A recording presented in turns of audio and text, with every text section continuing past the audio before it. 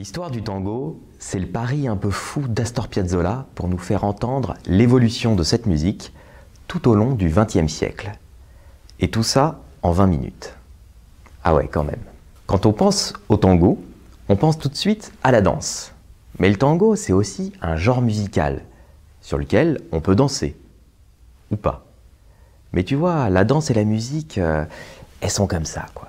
L'œuvre de Piazzolla, elle est en quatre mouvements.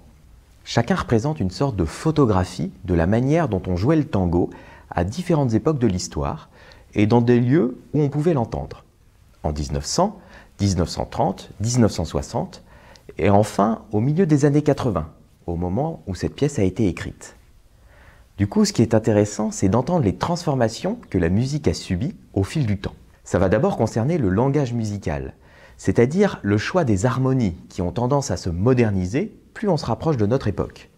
Bah oui, de la même manière qu'on ne parlait pas pareil il y a un siècle qu'aujourd'hui. Et puis ce qu'on peut remarquer aussi, c'est l'évolution du caractère et des ambiances qu'installe la musique. Parce que si le côté dansant était clairement présent à l'origine, aux alentours des années 30, c'est plus tout à fait le cas. On va voir ça. On va entendre une version pour violon et guitare, deux instruments à cordes qui se complètent bien en fait.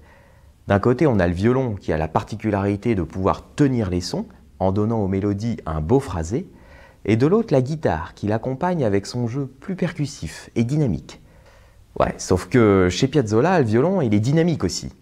Et la guitare, elle a de beaux passages chantants. Mais tu vois l'idée, quoi. On va entendre les deux premiers mouvements. Ça commence par Bordel 1900. Ouais, bon, le titre, euh, voilà, quoi. Tu regarderas dans le dictionnaire. Là, on est dans le tango vivant et pétillant.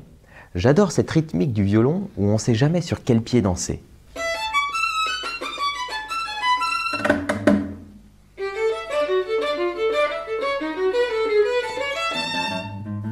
La guitare s'occupe de l'accompagnement, soit avec un rythme caractéristique de la habanera.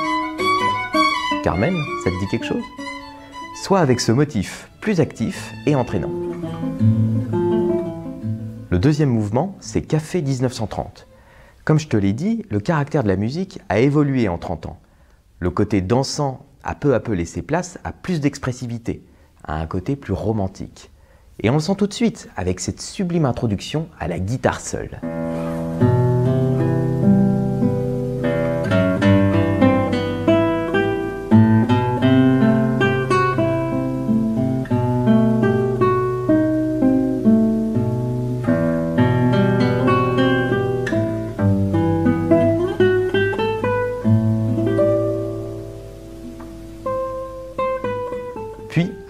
Thème principal au violon.